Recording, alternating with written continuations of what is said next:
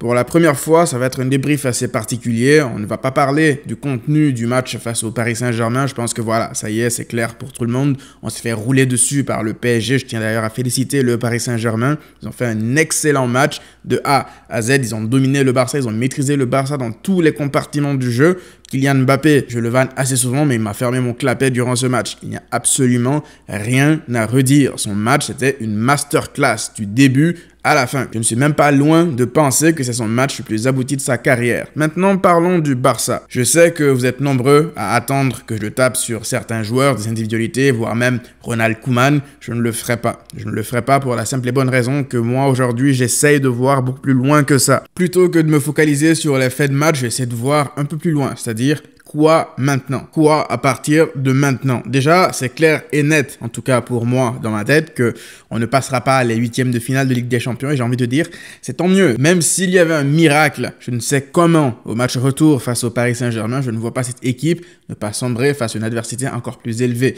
Donc, je pense que ça y est, là, on a atteint nos limites. Maintenant, il faut se concentrer sur comment continuer à se développer, comment continuer à grandir, à se reconstruire. Et ça passe déjà par les élections qui arrivent en mars. Elles seront cruciales Johan Laporta doit revenir le plus rapidement possible parce que dites-vous bien qu'une équipe sans président ne peut être une institution fiable, ne peut être un groupe, une équipe, un club de football dans son ensemble en ayant quelque chose de solide sur quoi se baser. Aujourd'hui, qui va taper sur les joueurs? Ronald Koeman, je pense qu'il est autant abattu que les joueurs. Je pense qu'il est autant aujourd'hui dépassé que les joueurs. Vous savez, juste avant le match, j'avais dit sur Twitter que peu importe le résultat de cette double confrontation, je tiens à remercier Ronald Koeman parce que c'est la première fois depuis de longues années que durant une saison du Barça, je parle bien d'une saison dans sa globalité, je prends autant de plaisir à regarder le Barça, même si c'est face à de petites équipes. Alors, je suis totalement d'accord avec vous, face au gros, ça a toujours calé, et ce depuis le début de la saison. Mais moi, en fait, ce qui m'intrigue avec cette équipe, c'est que dès qu'ils sont attendus dans une grande soirée, soit européenne ou quoi que ce soit, on ne peut plus en fait perdre sur un score de 2-1, voire 3-2 ou 1-0. Non, à chaque fois qu'on perd, c'est soit des scores de 3 buts et plus, etc. Là, je pense que c'est un problème mental, psychologique. Ça va au-delà du coach, ça va au-delà de toute approche technique ou tactique. Je pense qu'ils se liquéfient en fait dès qu'il y a une certaine atmosphère autour d'eux, dès qu'ils savent qu'ils sont attendus pour un événement.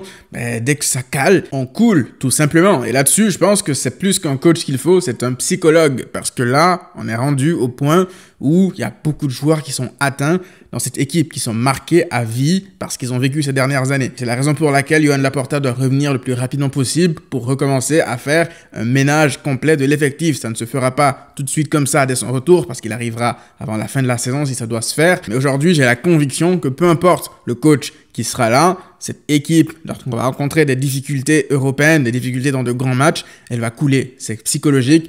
On ne peut rien y faire, faut juste tourner la page avec certains joueurs, je ne les citerai pas, vous les connaissez déjà. Il faut tourner la page et entamer un nouveau processus. Il faut rebâtir avec les jeunes. Koeman a commencé à lancer des jeunes tels que Pedri. Pedri, il a fait un match raté face au Paris Saint-Germain, mais vous savez quoi, je ne lui en veux pas. Parce que Pedri, il a 18 ans et l'apprentissage aussi, ça passe par là. En plus, il a été surutilisé par Ronald Koeman. À mon sens, il n'a pas été très ménagé par Koeman. Il a joué beaucoup trop de matchs. Pour moi, il aurait dû avoir moins de temps de jeu dans certains matchs. Donc repartir avec les jeunes, à savoir savoir à savoir Pedri, à savoir Ricky à savoir Ansu Fati. On ne le dit pas assez, mais l'absence de Ansu Fati nous fait super mal, même si je ne sais pas comment ça se passerait s'il était là. Avec des sites, de toute façon, on refait le monde. Et nos problèmes vont beaucoup plus loin que la simple absence de Ansu Fati.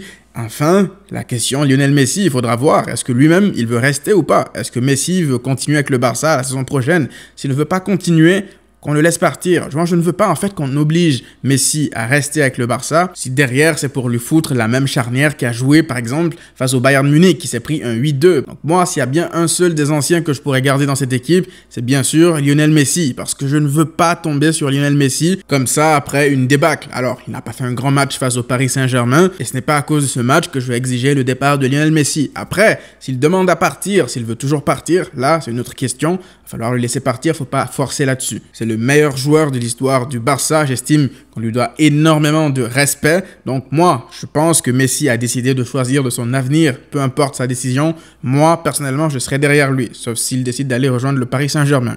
Donc là, si on doit déjà se projeter pour le court terme, les matchs de championnat reviennent le plus rapidement possible. Donc faut pas non plus se laisser abattre à 100% par cette défaite. Ça fait super mal, je le conçois, mais faut pas oublier que le but depuis le début de la saison, c'était de se reconstruire. Face au gros, ça a toujours calé, on s'est fait humilier une nouvelle fois. So what? On brûle un club de 122 ans d'existence et on passe à autre chose Non, on tombe, on se relève. On tombe, on se relève. Je répète, on tombe, on se relève. Ce n'est pas la première fois que le Barça traverse une crise dans son histoire. Alors oui, je suis d'accord, celle-ci est la pire, je suis d'accord. Moi, je me rappelle, en 2008, le Barça a fait le pasillo au Real Madrid, c'est-à-dire la haie d'honneur. On les a accueillis dans leur stade avec une haie d'honneur. On les a applaudis parce qu'ils étaient déjà champions. En prime, ils nous ont humiliés devant leurs supporters. On n'a rien pu faire. Et ce jour-là, à la fin du match, je pensais que la terre m'était tombée dessus. Je me disais que, oh là là, le Barça s'est fait humilier, on va jamais s'en relever, etc. Évidemment, je savais pas que le 8-2 arrivait plus tard.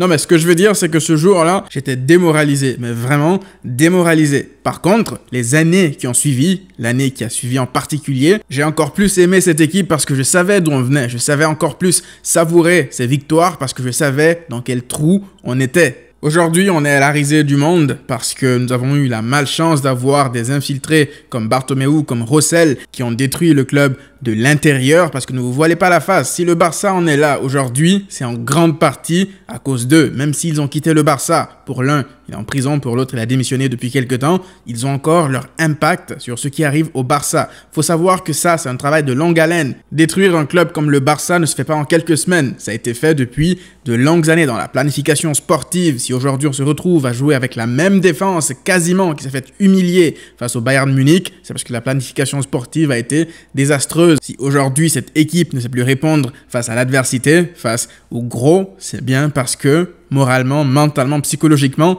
il y a eu des événements qui sont passés, qui sont succédés, qui ont mis à terre pas mal de joueurs. Je ne sais pas pour vous, mais en ce qui me concerne, je vais continuer à regarder cette équipe. Je vais espérer qu'elle continue à se développer petit à petit. Et j'espère qu'au retour face au Paris Saint-Germain, je n'attends pas à ce que le Barça fasse une remontada, etc. Je veux juste qu'on sorte avec les honneurs à faire un match de bonhomme, quitte à sortir tous les anciens, d'insuffler quelque chose de nouveau. Et cela doit commencer en fait dès le prochain match de Liga. Faut que le message soit clair. Aujourd'hui, désormais, les jeunes doivent prendre le pouvoir. Faut qu'on aille de l'avant. Faut qu'on fasse une sorte de nettoyage avant même le mercato qui arrive, c'est-à-dire sur le terrain, essayer de privilégier les jeunes. Alors, c'est totalement utopique, voire stupide ce que je vais dire là, mais ça ne dérangerait même pas à la limite de voir Alejandro Balde à la place d'un Jordi Alba, de voir un Mingueza, un Araujo en défense centrale à la place de Piqué et de l'anglais, de voir Busquets sortir du 11, peu importe son remplaçant, que ce soit Ilex Moriba, que ce soit Pjanic, que ce soit mon oncle de 79 ans qui va beaucoup plus vite que lui,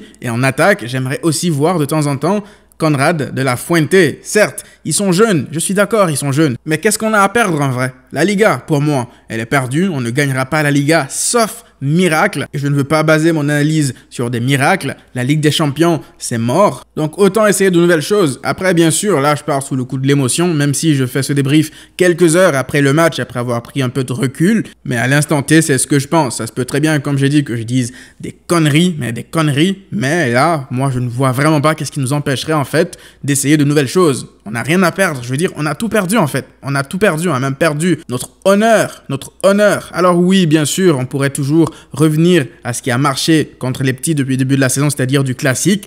Mais à quoi bon en fait Pour que les cadres se liquéfient de nouveau dès qu'on va rencontrer un gros d'ici la fin de la saison? Pour moi, ça ne sert à rien. Faut tout de suite lancer les jeunes comme ça parce que de toute façon, on ne peut pas acheter de nouveaux joueurs. S'il y avait un mercato, si on avait de l'argent, j'aurais suggéré cela. Mais je veux dire, on est dans une situation dans laquelle on doit faire des économies. On ne peut pas dépenser d'argent. Donc autant aller chercher des jeunes qui, pour moi, ne feraient pas pire que certains joueurs aujourd'hui titulaires dans l'équipe A du Barça. Maintenant, comme je l'ai dit, bien sûr, je sais que la plupart d'entre vous, vous êtes abattus, vous n'avez même pas envie de regarder quelque chose en rapport avec le football. Je vous assure, ça va passer. Maintenant, quand ça sera passé, relevez-vous et repartez de l'avant. C'est comme ça, que ce soit dans le foot, dans la vie de tous les jours, vous allez rencontrer des difficultés. Et peu importe le niveau de ces difficultés, le conseil que j'ai à vous donner, je terminerai là-dessus, ne baissez jamais les bras. Visca Barça.